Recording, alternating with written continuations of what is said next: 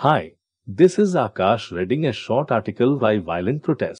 Written by Ravi Ranjan Goswami, I think the following reasons besides any other cause may be attributed to the violence. 1. Suppressed long time anger. 2. Assembly of people turning into a crowd. 3. The politicians and hardliners instigating the protesters to further their agenda. 4. Unsocial and criminal elements fishing in the troubled water. 5. Amnesty is given to the people who are booked for any crime during a political protest by the favorable government. 6. Actual or feared great hardship or loss to the people by an act of the government. 7. Media's policy habit of covering and broadcasting the maximum negative news. The protesters may be encouraged to violence as it gives them and their alleged cause better publicity.